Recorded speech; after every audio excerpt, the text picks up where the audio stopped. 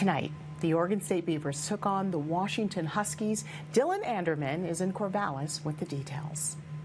It was raining, it was pouring as the fifth ranked Huskies came to Corvallis to take on the 11th ranked Oregon State Beavers. Here in Corvallis, thousands gathered for what is the last Pac 12 home game for the Beavers, and of course, the biggest game in recent OSU memory.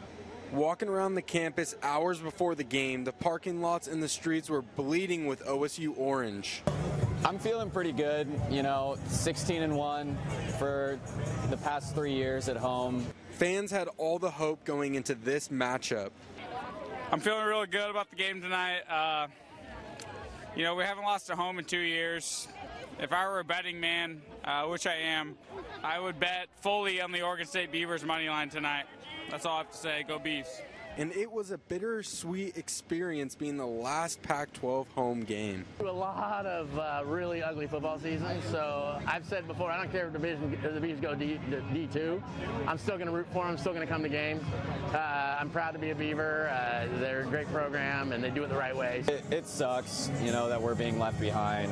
Um, I, I am glad that we were able to win the lawsuit that we posed against the other schools. Um, hopefully that holds up because, you know, it, it sucks. The Beavs started this one off celebrating their seniors. When the game kicked off, the fans were letting themselves be heard. The Huskies got the ball to start, and they had a fantastic drive, quieting the OSU crowd with this touchdown.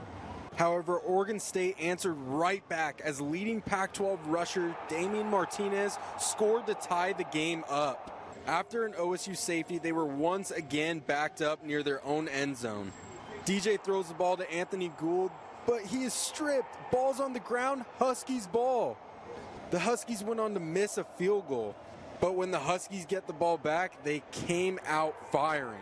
After a pass interference call, Michael Penix Jr. takes this one himself, slipping into the end zone and putting the Huskies up 16 to 7. The Beavers looking to answer, but this one is broken up. Watch out, cameraman. Beavs kick a field goal, inching closer and closer. But Michael Penix Jr. is hard to stop. He throws a touchdown with less than a minute and a half to put the Huskies up 22 to 10 heading into the locker room. The Beavers come back out and continue to give the rock to Damien Martinez, who puts them within five.